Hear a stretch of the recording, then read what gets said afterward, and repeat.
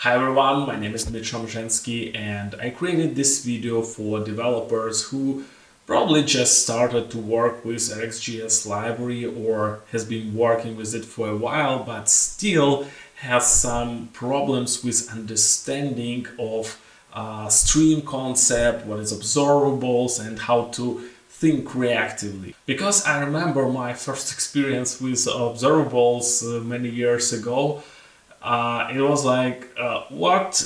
Why do I need another promise where uh, then method renamed to subscribe?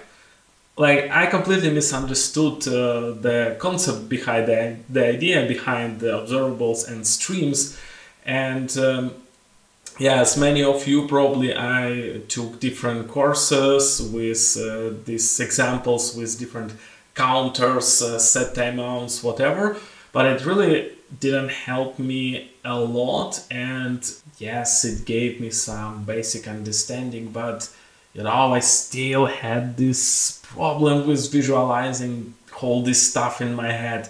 And for me it's very important to visualize complex things because otherwise i don't understand it. So the real progress happened when i started looking for the stream examples in the real life.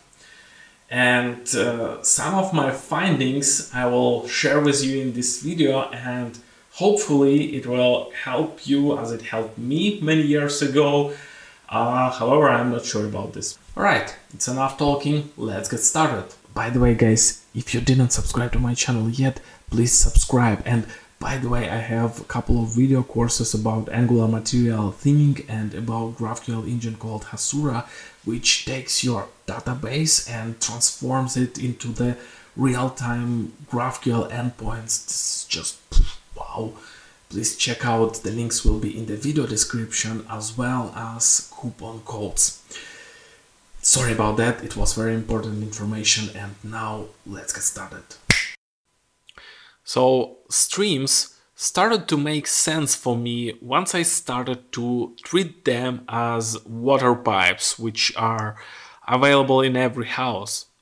And in reality, everything starts with installation of water pipes in your flat, right? So usually it happens during the house building or renovation, whatever. In RxJS, it would be an equivalent of operators like of, from or any another operator which creates a stream.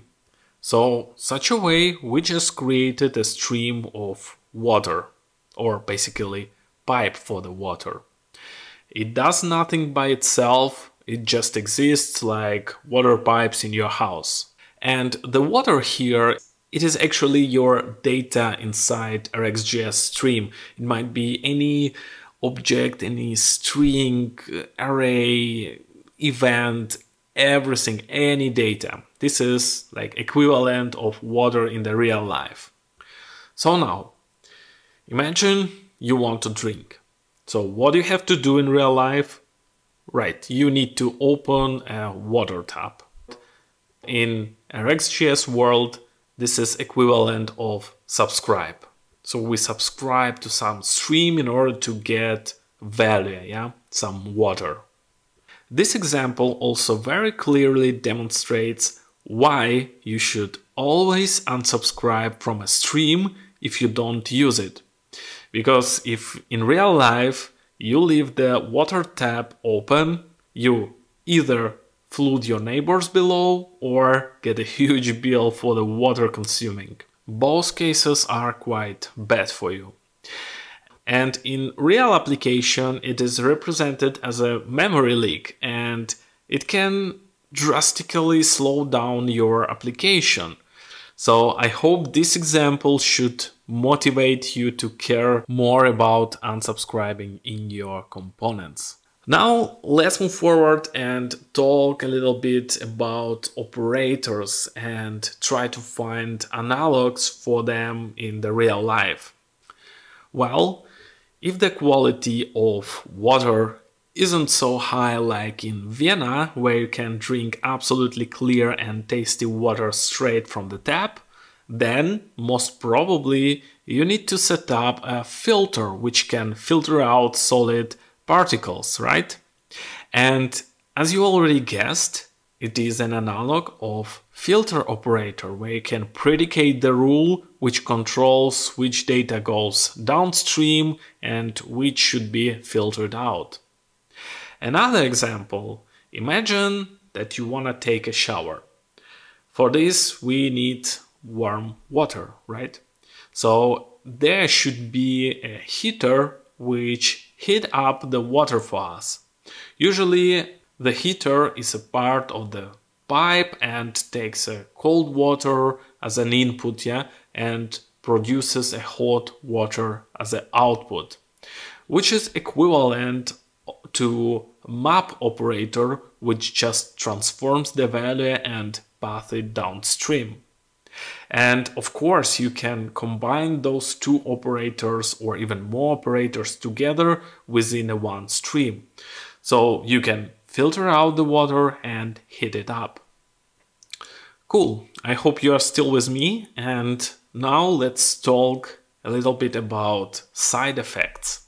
And side effects, it is when we either expose some data outside the stream or function or if we depend on some data which is, you know, declared somewhere outside the stream or uh, some certain function.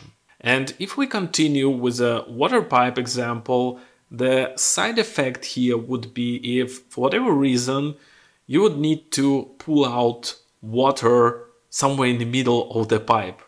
As example, if you have the airlock problem in your pipe, by the way, not so long time ago I had the same issue in one of my flat. The battery abruptly stopped to heat and it was exactly the airlock problem and I had to bleed the air and some water through a special valve.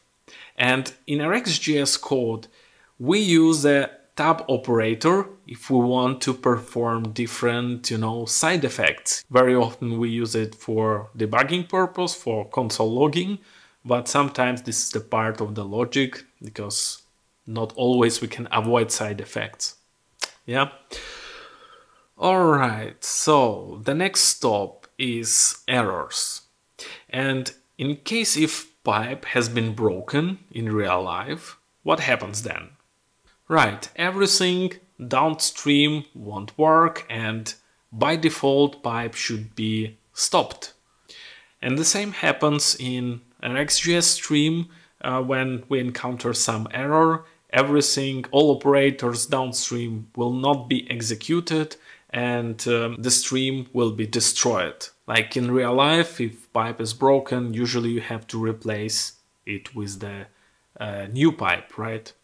So the similar thing in RxJS streams. And the last but not least, it is the connection of pipes.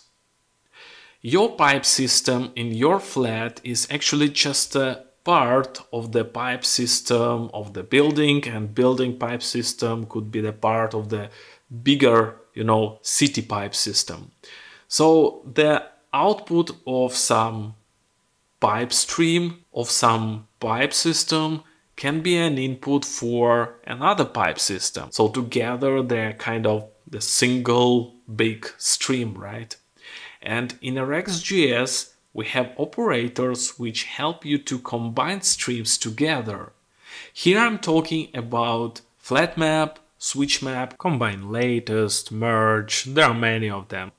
They have their own, you know, nuances but overall they are all needed to include the output of one stream into another one. So these operators help you to keep your stream flat and avoid the nesting subscription. So when you do subscribe into subscribe, you do basically something like this instead to connect two pipes properly, you know.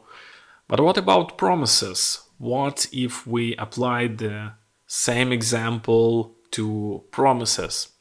And for promises, the situation would be the next. Imagine you set up pipes in your flat, you use it once, you drunk a water, and then the pipe system completely destroys.